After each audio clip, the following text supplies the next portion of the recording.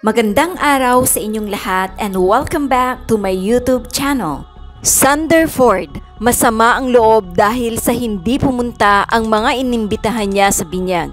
Naglabas ng saloobin si Sanderford sa taong di pumunta sa binyag ng kanyang anak. Si Sanderford na may tunay na pangalan na Marlo Salcedo Arizala ay ipinanganak noong May 11, 1998.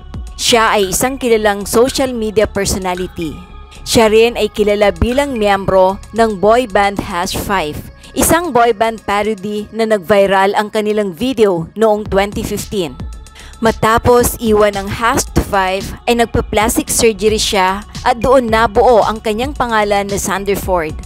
Unang isinapubliko ang kanyang itsura sa Rated K noong 2017. Noong December 29, 2022 ay proud na ibinahagi ni Sander ang unang anak nila ng kanyang non-showbiz partner na si Jenna Mago.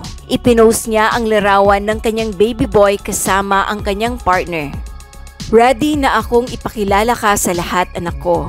Sabi niya sa kanyang post. Ngunit sa kanyang pinakabagong post sa social media ay naglabas ng saloobin si Sander sa taong hindi umano sumipot sa binyag ng kanyang anak. Hindi naman niya pinangalanan kung sino ang taong kanyang tinutukoy. Ngayon yung binyag ng anak ko.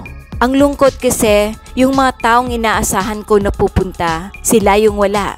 Sabi niya, kahit yung presensya lang sana para sa baby ko, okay na ako. Pero alam ko di rin kami importante kasi di naman na kami sikat. Dagdag pa niya.